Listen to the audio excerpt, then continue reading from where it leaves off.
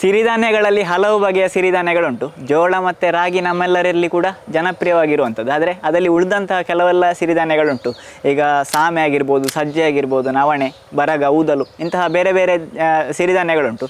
ಅವೆಲ್ಲ ನಮ್ಮಲ್ಲಿ ಹೆಚ್ಚಿನವರಿಗೆ ತಿಳಿಯದೆ ಅದನ್ನು ಒಂದು ಸೈಡಿಗೆ ಹಾಕಿಬಿಟ್ಟೆ ಹೆಚ್ಚು ಉಪಯೋಗ ಮಾಡ್ತಾ ಇಲ್ಲ.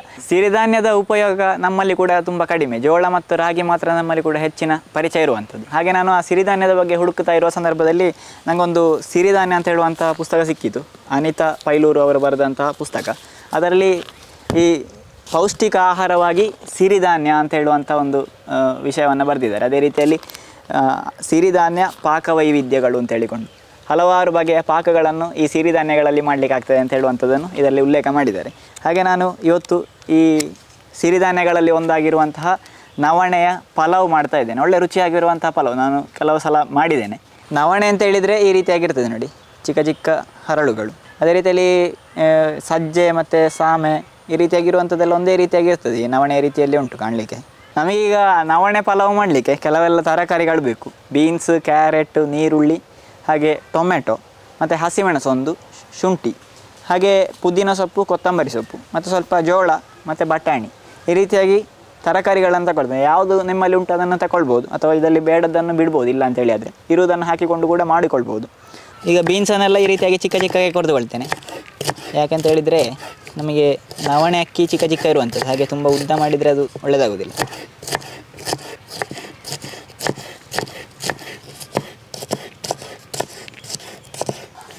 ಕ್ಯಾರೆಟನ್ನು ಕೂಡ ಚಿಕ್ಕ ಚಿಕ್ಕಕ್ಕೆ ಕೊರೆದುಕೊಳ್ತೇನೆ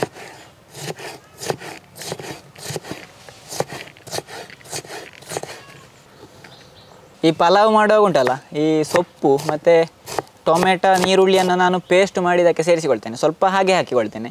ಎಲ್ಲವನ್ನು ಕೂಡ ಹಾಗೆ ಹಾಕಿಕೊಂಡ್ರೆ ನಮಗೆ ಅದು ಹೆಚ್ಚಾಗ್ತದೆ ತರಕಾರಿ ಮಾತ್ರ ಆಗಿ. ಹಾಗೆ ಅದಕ್ಕೋಸ್ಕರ ಸ್ವಲ್ಪ ಪೇಸ್ಟ್ ಮಾಡಿ ಹಾಕಿದರೆ ರುಚಿ ಕೂಡ ಜಾಸ್ತಿ.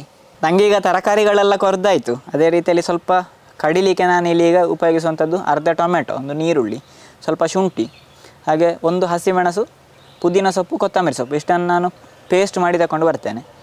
ನೀರು ಹಾಕುವ ಅವಶ್ಯಕತೆ ಇಲ್ಲ. ಟೊಮೆಟೊ ಇರುವ ಕಾರಣ. ಇದೀಗ ಪೇಸ್ಟ್ ರೆಡಿ ಆಯಿತು ನೋಡಿ. ಇನ್ನೀಗ ಒಲೆಯಲ್ಲಿ ಒಂದು ಬಣ್ಣ ಎಲ್ಲ ಇಟ್ಟು ಚಕ್ಕೆ ಮಸಾಲೆಗಳನ್ನು ಹುರಿಯುವ. ಇದೀಗ ತೆಂಗಿನ ಎಣ್ಣೆಯನ್ನು ಹಾಕ್ತಾ ಇದ್ದೇನೆ ಫಸ್ಟಿಗೆ ತುಪ್ಪ ಅಥವಾ ತೆಂಗಿನ ಎಣ್ಣೆ, ಯಾವುದಲ್ಲಿ ಬೇಕಾದರೂ ಮಾಡಿಕೊಳ್ಬೋದು. ಚಕ್ಕೆ ಮಸಾಲೆಗಳು ನಾನೆಂತೆಲ್ಲ ತಗೊಳ್ತೇನೆ ಅಂತ ಹೇಳಿದರೆ ಕಾಳು, ಮೆಣಸು, ಮೊಗ್ಗು, ಚಕ್ಕೆ, ಏಲಕ್ಕಿ ಮತ್ತು ಲವಂಗ ಮತ್ತು ಪಲಾವು, ಎಲೆ.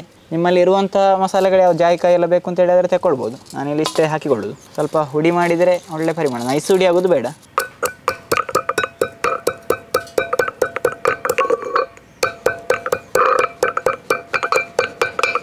ಈ ರೀತಿಯಾಗಿ ಹುಡಿ ಆದರೆ ಸಾಕು ನೋಡಿ. ಜಾಸ್ತಿ ಹುಡಿ ಆಗೋದು ಬೇಡ, ಮತ್ತು ಅದು ಎಣ್ಣೆಯಲ್ಲಿ ಕರೆಂಚುತ್ತದೆ ಎಣ್ಣೆ ಬಿಸಿಯಾದ ಕೂಡಲೇ ಹುಡಿ ಮಾಡಿದಂತಹ ಚಕ್ಕೆ ಮಸಾಲೆಗಳನ್ನು ಹಾಕೋದು. ಸಣ್ಣ ಬೆಂಕಿಯಲ್ಲಿ ಒಂದು ಸ್ವಲ್ಪ ಹುರಿದ್ರೆ ಸಾಕು. ಎಣ್ಣೆಗೆ ಇದಕ್ಕೆ ಸ್ವಲ್ಪ ಗೋಡಂಬಿ ಗೇರು ಬೀಜ ಚಕ್ಕೆ ಮಸಾಲೆ ಒಳ್ಳೆ ಘಮ ಘಮ ಪರಿಮಳ ಬರ್ತಾ ಉಂಟು. ಅದು ಸ್ವಲ್ಪ ಹುಡಿ ಆಗದಿದ್ರೆ ಉಂಟಲ್ಲ, ಮತ್ತೆ ಎಂತ ಪರಿಮಳ ಹುಡಿ ಮಾಡಿದರೆ ಆಯ್ತು. ಸ್ವಲ್ಪ ತರಿ ತರಿ ಹುಡಿ ಆದರೂ ಸಾಕು. ಗೇರು ಬೀಜ, ಬಣ್ಣ ಚೇಂಜ್ ಆದ ಕೂಡಲೇ ಶುಂಠಿ ಹಾಕಿಕೊಳ್ತೇನೆ ಸ್ವಲ್ಪ ಕೊಚ್ಚಿಟ್ಟಂತ ಶುಂಠಿ, ಮತ್ತು ನೀರುಳ್ಳಿ.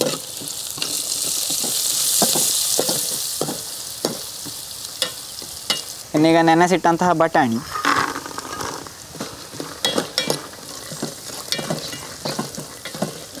ಬಟಾಣಿ ಎಲ್ಲ ಸ್ವಲ್ಪ ಹುರಿದ ಮೇಲೆ, ಕೊಚ್ಚಿಟ್ಟಂತ ತರಕಾರಿ ಎಲ್ಲ ಒಟ್ಟಿಗೆ ಹಾಕಿ ಹಾಕಿಕೊಳ್ತೇನೆ ಟೊಮೆಟೊ, ಕ್ಯಾರೆಟು, ಬೀನ್ಸು ಸ್ವಲ್ಪ ಜೋಳ ಇತ್ತಲ್ಲ, ಜೋಳವನ್ನು ಕೂಡ ಹಾಕಿಕೊಳ್ತೇನೆ.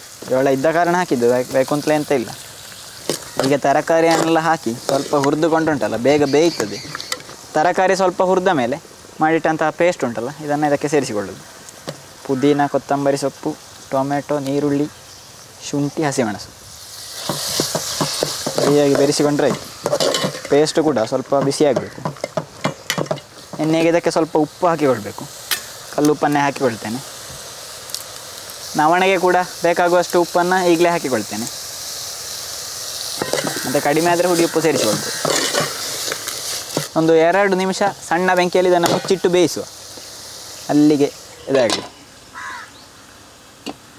ಪಲಾವಾಗಿರುವಂತಹ ನವಣೆ ಅಕ್ಕಿಯನ್ನು ಒಂದು ಗಂಟೆಗಳಷ್ಟು ನೆನೆಸಿಟ್ಟಿದ್ದೆ. ಚೆನ್ನಾಗಿ ತೊಳೆದು ತಗೊಂಡು ಬಂದಿದ್ದೇನೆ. ಇದು ಎರಡು ನಿಮಿಷ ಆಯಿತು ಇಲ್ಲಿ. ನವಣೆ ಅಕ್ಕಿ ನಾನು ಎರಡು ಗ್ಲಾಸಿನಷ್ಟು ತಗೊಂಡಿದ್ದೇನೆ ಅದಕ್ಕೆ ಇಲ್ಲಿ ಓಪನ್ ಆಗಿ ಬೇಯಿಸುವ ಕಾರಣ ಒಂದು ಐದು ಗ್ಲಾಸಿನಷ್ಟು ನೀರನ್ನು ಸೇರಿಸಿಕೊಳ್ತೇನೆ. ಬಿಸಿ ನೀರು, ಒಳ್ಳೆ ಕುದೀತಾ ಉಂಟು. ನಾವು ಕುಕ್ಕರೆಲ್ಲ ಎಲ್ಲ ಮಾಡೋದಾದರೆ ಒಂದಕ್ಕೆ ಎರಡು ಕಪ್ಪಿನಾಗೆ ನೀರು ಸಾಕು. ಇನ್ನೀಗ ಈ ನವಣೆಯನ್ನೇ ಇದಕ್ಕೆ ಹಾಕಿಕೊಳ್ತೇನೆ. ನೀರೆಲ್ಲ ಚೆನ್ನಾಗಿ ಕುದೀತಾ ಉಂಟು.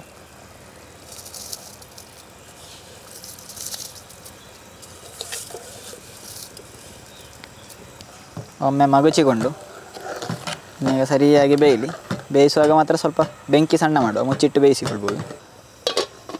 ಸಿರಿಧಾನ್ಯಗಳಿಂದ ತಯಾರಿಸಿದ ಆಹಾರ ಪದಾರ್ಥಗಳ ಪೌಷ್ಟಿಕತೆ ಅಕ್ಕಿ ಮತ್ತು ಗೋಧಿಯಿಂದ ತಯಾರಿಸಿದ ಆಹಾರ ಪದಾರ್ಥಗಳಿಗಿಂತ ಹೆಚ್ಚಿರ್ತದಂತೆ.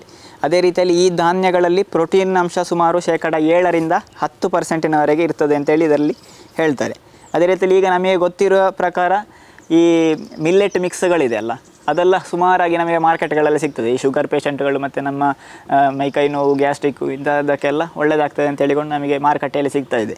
ಅದೇ ರೀತಿಯಲ್ಲಿ ಇದರಲ್ಲಿ ನಾವು ಮನೆಯಲ್ಲಿ ತಯಾರಿಸಿ, ತಯಾರಿಸಬಹುದಾದಂಥ ಕೆಲವೆಲ್ಲ ಪದಾರ್ಥಗಳನ್ನು ನಾವು ಮಾಡಿಕೊಳ್ಬೋದು ಹಾಗೆ ಮಕ್ಕಳಿಗೆ ಈ ರಾಗಿಯಿಂದ ಮಾಡುವಂಥ ಮಣ್ಣಿಯಾಗಿರ್ಬೋದು ಮಣ್ಣಿ ಅದೇ ರೀತಿಯಲ್ಲಿ ಕೆಲವೆಲ್ಲ ಪದಾರ್ಥಗಳನ್ನು ನಾವು ಮಾಡ್ತೇವೆ. ಅದೆಲ್ಲ ತುಂಬ ಒಳ್ಳೆಯದು ಹೈ ರಿಚ್ ಪ್ರೋಟೀನ್ ಅಂಶ ಮತ್ತು ಪೌಷ್ಟಿಕವಾಗಿರುವಂಥ ಆಹಾರ ಅಂತೇಳಿ ಇದರಲ್ಲಿ ಹೇಳ್ತಾರೆ. ನಮಗೆ ಗೊತ್ತಿರೋ ಪ್ರಕಾರ ಅದು ಗೂಗಲ್ನಲ್ಲಿ ಹುಡುಕಿದ್ರು ಕೂಡ ಅದೇ ರೀತಿಯಲ್ಲಿ ಸಿಗ್ತದೆ. ಹೈ ಪ್ರೋಟೀನ್ ಅಂಶ ಉಂಟು ಅಂತ ಹೇಳಿಕೊಂಡಲ್ಲ? ಫೈಬರ್ ಹಾಂ ಹೈ ಫೈಬರ್ ಬಿ ಟ್ವೆಲ್ ಅಂಶ ಎಂಥದ್ದು ಪ್ರೋಟೀನ್ನ ಬಿ ಟ್ವೆಲ್ ಅಂತ ಹೇಳುವಂಥದ್ದು ಅಂಶ ಇದರಲ್ಲಿ ನವಣೆಯಲ್ಲಿ ಜಾಸ್ತಿ ಉಂಟಂತೆ. ಸಾಧಾರಣ ಒಂದು ಕಾಲು ಗಂಟೆ ಹೊತ್ತಿದ್ದು ಬೇಯಿಸಿ ಆಗುವಾಗ ನೋಡಿ. ಈ ರೀತಿಯಾಗಿ ಆಯಿತು. ನೀರೆಲ್ಲ ಆರಿತು ಇದರಲ್ಲಿ. ಬೆಂದಿದೆ ಕೂಡ. ಓ ಫಸ್ಟ್ ಲಾಸ್ ಬೆಂದಿದೆ. ಇಷ್ಟಾದರೆ ಸಾಕು. ಕೊನೆಯಲ್ಲಿ ಸ್ವಲ್ಪ ಕೊತ್ತಂಬರಿ ಸೊಪ್ಪು ಪುದೀನ ಸೊಪ್ಪು ನಾನು ಕೊಚ್ಚಿಟ್ಟಿದ್ದೆಲ್ಲ. ಅದನ್ನು ಸೇರಿಸಿ ಮುಚ್ಚಿಡುವ. ಪರಿಮಳ ಸ್ವಲ್ಪ ಜಾಸ್ತಿ. ಪಲಾವ್ ಮಾಡಿ ಆಯ್ತು, ಇನ್ನೊಂದು ಕಚ್ಚಂಬಾರು ಮಾಡಿ ಇದ್ರೆ ಅದಕ್ಕೆ ಮಾಡಲಿಕ್ಕೆ ಕೂಡ ತುಂಬ ಕೆಲಸ ಅಂತ ಇಲ್ಲ. ಮುಳ್ಳು, ಸೌತೆ ಮತ್ತು ಟೊಮೆಟೊ. ಚಿಕ್ಕಗೆ ಕೊಚ್ಚಿತ್ತು, ಉಪ್ಪು ಮಜ್ಜಿಗೆ ಹಾಕಿತ್ತು. ಬೇಕಾದ್ರೆ ಒಂದು ಮೆಣಸು, ಖಾರ ಹಾಕಿ. ಕಾಳು ಮೆಣಸು ಬೇಕಾದ್ರೆ ಕಾಳು ಮೆಣಸು. ಬೇರಿಸಿದರೆ ಕಚ್ಚಂಬಾರು ರೆಡಿ ಇನ್ನೀಗ ಬಿಸಿ ಬಿಸಿ ಪಲಾವ್ ತಿನ್ನುವ. ಎಲ್ಲ ಬಗೆಯ ಕೂಡ ಹಾಕಿ, ಮಾಮೂಲಿ ಅಕ್ಕಿ ಪಲಾವ್ ಹೇಗೆ ಮಾಡ್ತೇವೆ? ಅದೇ ರೀತಿಯಲ್ಲಿ ಆಗಿದೆ, ನವಣೆ ಪಲಾವ್ ಕೂಡ. ಆಹ್, ಪರಿಮಳ. ನಾವೀಗ ಮಾಡಿದಂತಹ ಕಚ್ಚಂಬಾರು, ಪಲಾವ್. ಆಹ್ ಬಿಸಿ ಬಿಸಿ ಇರುವಾಗಲೇ ತಿಂದು ಮುಗಿಸುವುದೇ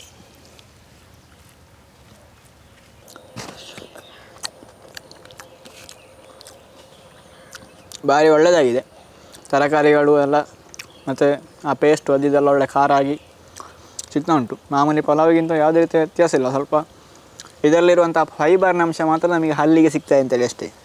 ಈ ಸಿರಿಧಾನ್ಯಗಳ ಸ್ವಭಾವ ಸ್ವಲ್ಪ ಒರಟಾದ ಕಾರಣ ಆಗಿರ್ಬೋದು. ನಮ್ಮ ಬಾಯಿಗಷ್ಟು ರುಚಿ ಅನಿಸುವುದಿಲ್ಲ ಅಂತ ಹೇಳಿಕೊಂಡು ಅದು ಕಡೆಗಣಿಸಲ್ಪಟ್ಟಿದೆ. ಆದರೆ ಅದಕ್ಕೆ ಬೇಕಾದಂಥ ಪರಿಮಳಕ್ಕಾಗಲಿ, ಅದಕ್ಕೆ ಬೇಕಾದಂಥ ರುಚಿಗೆ ಬೇಕಾದ ರೀತಿಯಲ್ಲಿ ಅದನ್ನು ಏನಾದರೂ ಹಾಕಿಕೊಂಡು ನಾವು ಅದನ್ನು ಸೇವನೆ ಮಾಡಿಕೊಳ್ಬೋದು ಅಂತ ಹೇಳುವಂಥ ನನ್ನ ಅಭಿಪ್ರಾಯ. ಯಾಕೆಂತ ಹೇಳಿದರೆ ಒಳ್ಳೆ ಪೌಷ್ಟಿಕವಾದಂಥ ಆಹಾರದ ಕಾರಣ ಈ ರೀತಿಯಾಗಿ ನನ್ನದು ಕೂಡ ಒಂದು ಅಭಿಪ್ರಾಯ. ನೀವು ಕೂಡ ಇದನ್ನು ಟ್ರೈ ಮಾಡಿ ನೋಡಿ. ನಮ್ಮಲ್ಲಿ ಕೂಡ ಅಷ್ಟು ಪರಿಚಯ ಇರಲಿಲ್ಲ. ನಾವು ಕೂಡ ಅದನ್ನು ಈಗ ಟ್ರೈ ಮಾಡ್ತಾ ಇದ್ದೇವೆ. ಸ್ವಲ್ಪ ಸ್ವಲ್ಪ ನಾವು ಅದನ್ನು ಆಹಾರವಾಗಿ ನಮ್ಮ ನಿತ್ಯ ಬಳಕೆಯಲ್ಲಿ ಉಪಯೋಗ ಮಾಡಿಕೊಂಡ್ರೆ. ನಮಗೆ ಆರೋಗ್ಯ ಕೂಡ ವೃದ್ಧಿಸಿಕೊಳ್ಬೋದು. ನೀವು ಕೂಡ ಇದನ್ನು ಟ್ರೈ ಮಾಡಿ ಅಂತ ಹೇಳುವಂಥದ್ದು ನನ್ನ ಅಭಿಪ್ರಾಯ. ಇವತ್ತಿನ ಈ ವಿಡಿಯೋ ನಿಮಗೆಲ್ಲರಿಗೂ ಖುಷಿ ಆಯಿತು ಅಂತ ಹೇಳಿ ಭಾವಿಸ್ತೇನೆ. ಇಂತಹ ವಿಶೇಷವಾದಂಥ ವಿಡಿಯೋಗಳನ್ನು ಇನ್ನು ಕೂಡ ಬರ್ತಾ ಇರ್ತೇವೆ. ಮುಂದಿನ ವಿಡಿಯೋದಲ್ಲಿ ಸಿಗುವ. ನಮಸ್ಕಾರ.